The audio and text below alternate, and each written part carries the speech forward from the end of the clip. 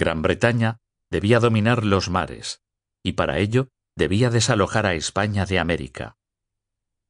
Si la mañana había sido tibia para la época del año, al atardecer había comenzado a refrescar, y al anochecer el aire era cortante.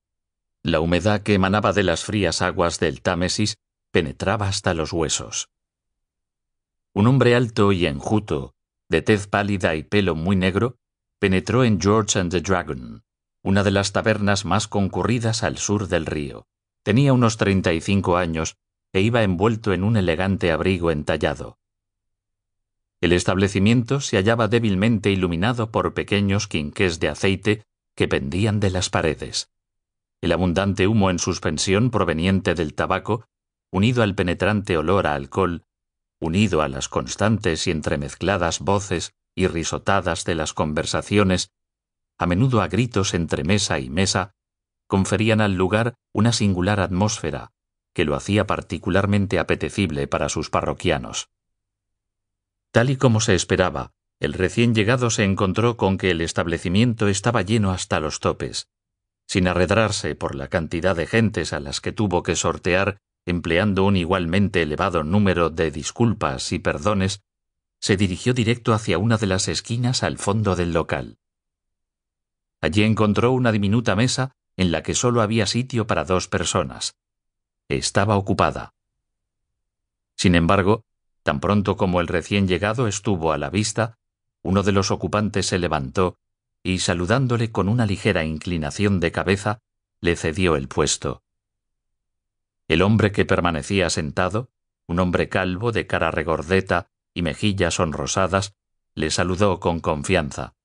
No lo hizo en inglés, sino en un perfecto español. Buenas tardes, Lázaro.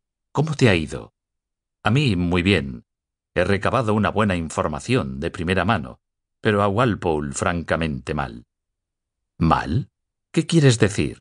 No me querrás hacer creer que ese petimetre de Jenkins ha conseguido meterse a los comunes en el bolsillo. No sé si será un buen marino, pero como actor no tiene rival.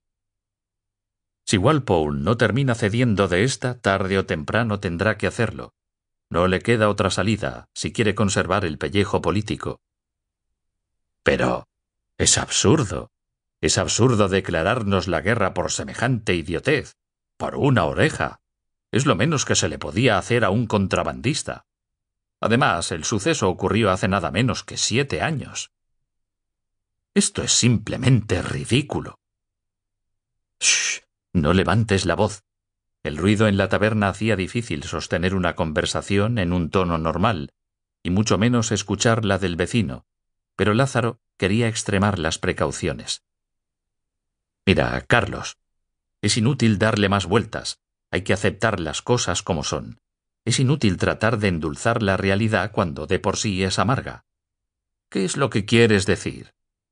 Que debemos abrir los ojos a la terca realidad y no seguir empeñados en poner remiendos que de nada sirven. Ha llegado el momento de informar al embajador de que, por mucho que los ingleses se finjan agraviados y ofendidos por el caso de Jenkins, o por un insatisfactorio cumplimiento de la Convención de El Pardo, o por mil zarandajas más, el motivo de la guerra será siempre muy otro. España ya no tiene el poderío de antaño. Tenemos un vasto imperio, es verdad, pero precisamente eso es lo que codician las naciones grandes. Quieren su parte. Los ingleses no quieren las migajas. No quieren depender de las concesiones que les hagamos nosotros, de mejor o peor gana. Quieren lisa y llanamente expulsarnos y hacerse con todas nuestras tierras de ultramar. Lázaro marcó con gran énfasis la palabra todas. Pero eso no es justo. Forman parte de España desde hace más de dos siglos. Estoy de acuerdo contigo. No es a mí a quien tienes que convencer. Desgraciadamente el derecho internacional lo dicta el más fuerte. Siempre ha sido así. Si has de transmitir a la embajada mi opinión, es esta. La guerra es inevitable, cuestión de meses, con suerte de un año, no más. Vernon es lo suficientemente osado y astuto como para poner a Walpole contra las cuerdas. Y no está solo. El clamor popular contra España es cada día mayor.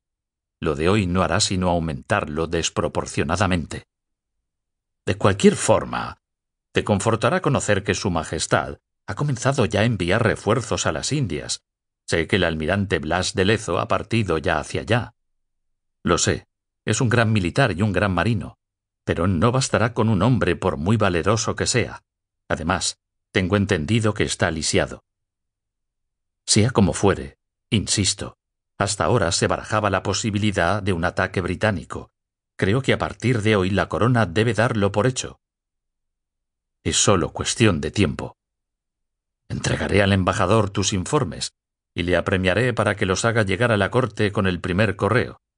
Gracias, Carlos. Supondrán un duro mazazo. Qué duda cabe de que las noticias son malas, pero como dice el refrán, más vale prevenir que lamentar.